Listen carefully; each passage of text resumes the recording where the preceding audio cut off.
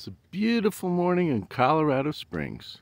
We've got four hot air balloons in the south. And then some beautiful shading along the ridge.